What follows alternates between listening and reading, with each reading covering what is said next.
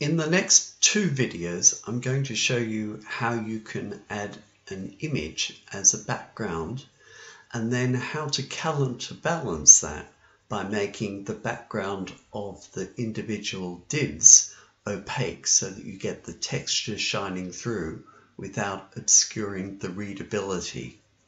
So the first step here is that I'm going to go to my CSS and with my external style sheet I'm going to create a new rule and uh, this one is just going to be for the body.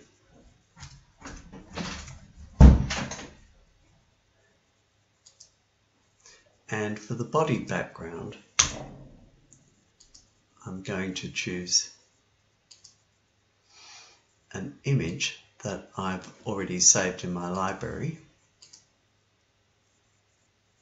and I'm going to make that just fill the whole area and I'm going to make it cover 100%.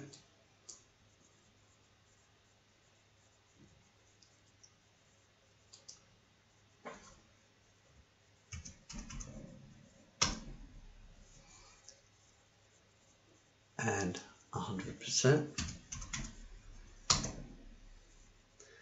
Save that and of course upload all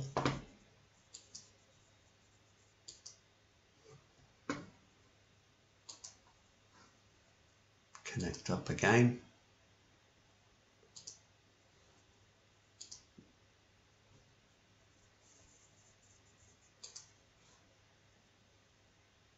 There it goes. And when I look at this,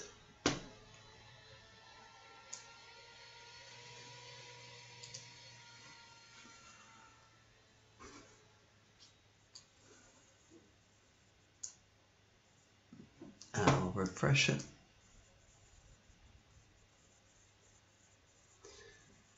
We should see the background image appearing here